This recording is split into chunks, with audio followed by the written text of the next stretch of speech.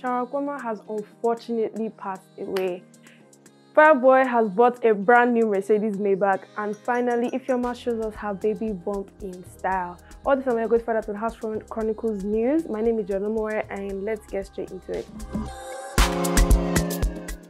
As you should know by now, my name is Jordan Moore, and now I got your news in detail. I know you missed me, I know you've not seen me for a while now, but don't worry, I'm here to serve you the news as you want. Now, back to the news.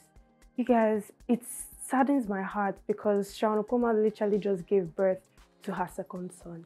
And it's literally the saddest news ever. Like, personally speaking, I was so saddened to hear about that fact because she just gave birth to him.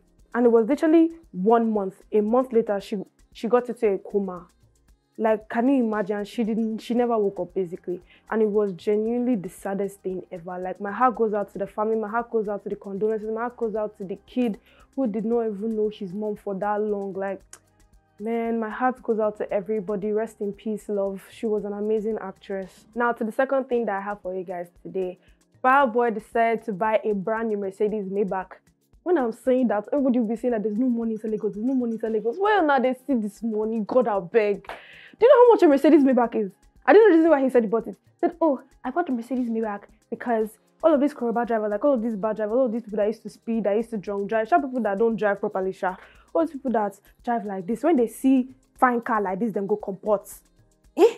As how? Hmm. See, let me tell you something, Sha. Me personally, me personally, I feel like as if in Lagos, nobody send your papa. When I say nobody send your daddy, so it's a matter of I just hope that nobody crashes his car because this is like saying that oh I bought the Mercedes Maybach so when they see fine car they will comport. Oh, oh. But anyways, anyways, anyways, let me not let me not stress the matter. Don't be my car. I'm still very happy for him and I'm and you know me too. I'll buy my own Maybach one day. You guys should just chill for me. Calm down for me, okay? Calm down. Now for the third thing that I have for you guys today.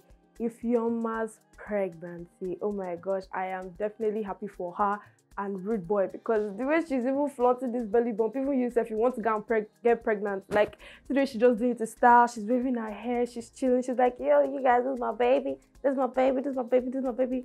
But anyways, I don't wish pregnancy on anybody that is underage, but you know, just really happy for her. Like, you know when love is in the air and love is sweet, the love sweet die. But anyways, let me not do too much with my relationship. I'm really happy for them and I really hope that, you know, everything is gonna go cute with that bouncing baby. But yeah, that's all the news that I have for you guys today. As you guys know, my name is Jordan Omoware. Do not forget it. Visit housechronicles.com for more information and let's see you later.